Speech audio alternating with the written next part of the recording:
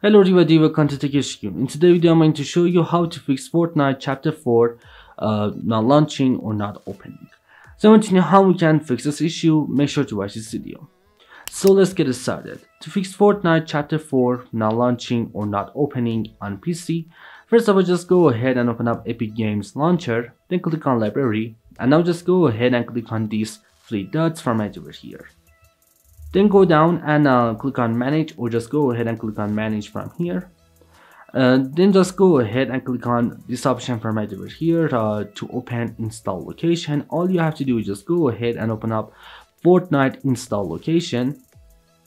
Then just go ahead and click on Fortnite game. Click on binaries, click on Win64 from right over here. And now just scroll down and look to find Fortnite launcher from Win64 folder all you have to do is just go ahead and locate Fortnite launcher from here. Well, click on it and then go down and click on properties. Click on compatibility. And now just go down and check this option. Run this program as an administrator. Then go down and click on apply and then OK. And all you have to do is just go ahead and run Fortnite launcher as administrator with Fortnite chapter 4 not launching or not opening. Sometimes it works and if that didn't work for the next solution just go ahead and completely uh, close uh, Epic Games launcher. And just go ahead and right click on um, Epic Games launcher from right over here. And then click on properties then click on compatibility and just go ahead and check this option.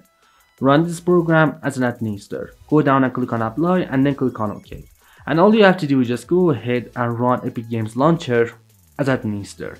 Sometimes it works and is the second solution I know to fix Fortnite Chapter 4 not launching or not opening. And if that didn't work for the next solution, just go ahead and open up Epic Games Launcher again, click on Library, and then just go ahead and click on these three dots again, click on Manage, and now click on Verify right over here. And all you have to do is just go ahead and verify files. So all you have to do is just go ahead and verify Fortnite files to fix Fortnite chapter 4 not launching or not opening. And if that didn't work, and if you did all of these solutions and all of them didn't work, uh, there is one more solution to fix Fortnite not launching or not opening. All you have to do is just go ahead and update your graphic card driver. To update your graphic card driver, if you have NVIDIA graphic card on your PC, just go ahead and download GeForce Experience program from NVIDIA website. And then you should be able to update your graphic card driver from GeForce Experience. And if you have AMD or Intel graphic card, just go ahead and search on your web browser like Google Chrome, Microsoft Edge, or Firefox. Uh, just go to the AMD or Intel website and then you should be able to update your graphic card driver from AMD or Intel website. And also guys, make sure to update your Windows to the latest version. To update your Windows, just go down on your desktop, just go ahead and type check for updates on right over here.